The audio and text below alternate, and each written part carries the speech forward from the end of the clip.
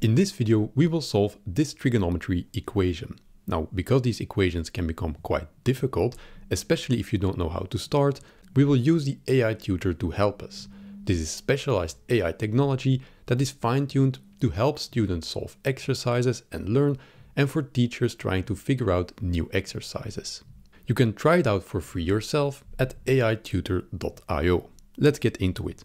We need to find a specific angle, x, for which the sine of 2 times this angle minus the cosine of this angle is equal to 0.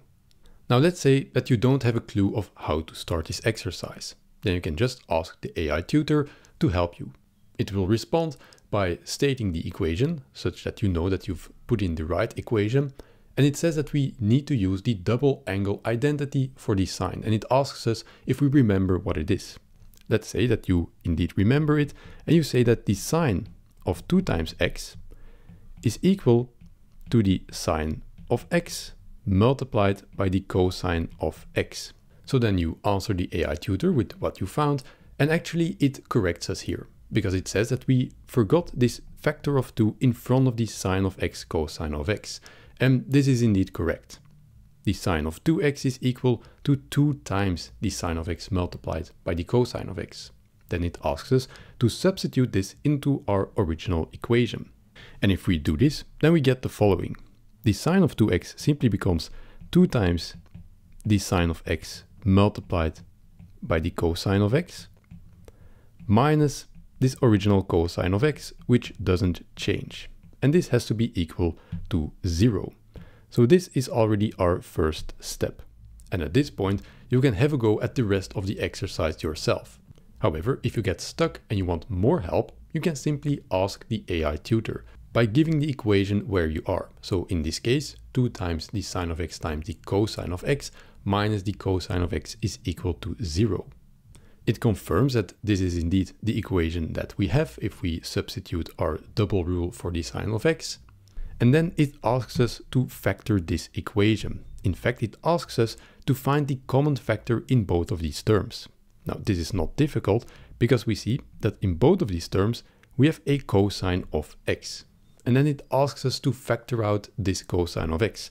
However, at this point, you might have some more questions. For instance, why do we want to factor the left-hand side of this equation? So you can just ask this question, why do we want to factor this equation?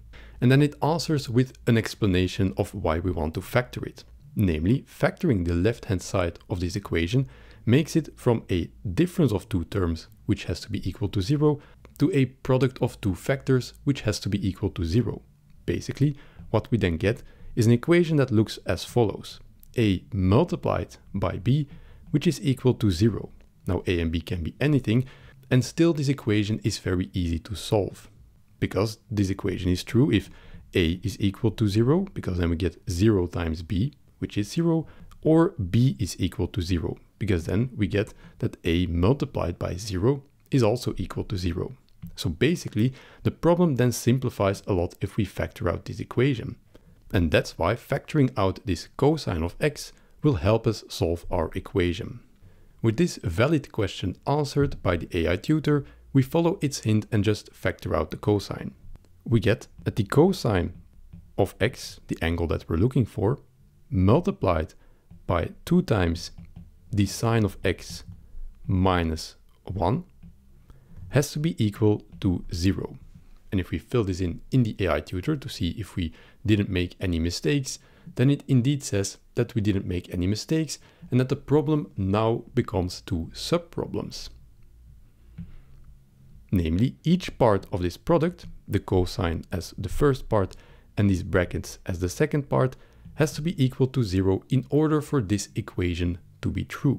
So let me just make some space and put this equation on the top. Then we can look at the two subproblems. The first one is a very easy one. So the cosine of x has to be equal to 0. Now we know when the cosine of x is equal to 0. If we just draw the goniometric circle, then we know that the cosine of x is 0 at pi over 2, which is on top of the circle, and minus pi over 2. Therefore, we find that the cosine of x is 0 if x is equal to pi over 2 plus n times pi, where n is just a whole number. So we've already found our first solution, which is also a solution of our original equation.